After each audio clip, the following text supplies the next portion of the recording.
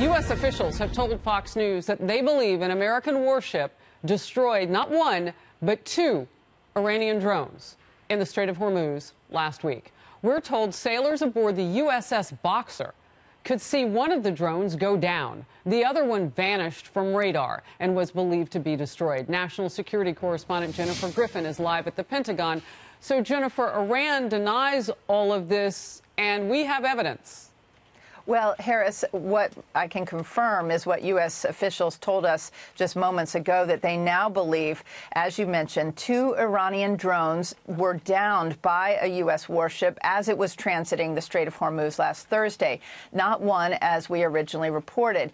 One U.S. defense official said sailors and Marines on board the USS Boxer, that large amphibious assault ship, could see one of the drones go down in the water. The other drone disappeared from radar and was believed destroyed. The head of U.S. forces in the Middle East, General Frank McKenzie, told CBS's David Martin, who first reported this, quote, there may have been more, suggesting more than two drones may have gone down. Both drones, we're told, were taken out by this new Marine Corps anti drone jamming device strapped to the deck of USS Boxer without firing a shot.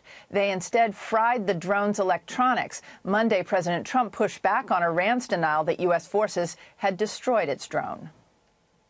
We took down one of their drones. Instead of saying, yeah, that happened, they lie. They say it didn't happen. So uh, we have, uh, there's a lot of proof. It's called, uh, take a look at it on the ocean floor. Just go down there, take your scuba gear and go down there. And the, one of you would do that, I know.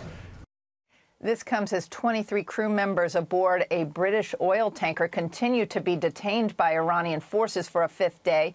The vessel's parent company moments ago refuted Iran's claim that the ship hit a fishing boat while transiting the Strait of Hormuz before the vessel was seized by Iranian commandos. Quote, we can confirm that we are not aware of and nor is there any evidence of a collision involving the Stena of Impero. The company's statement also said all necessary notifications were given before the oil tanker began to transit the Strait of Hormuz. And just moments ago, Harris, the Senate confirmed Mark Esper as the new defense secretary.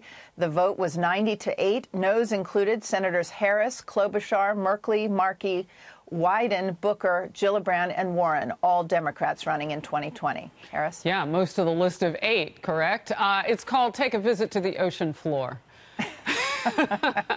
Jennifer, with your you. scuba gear. With your scuba gear, yeah.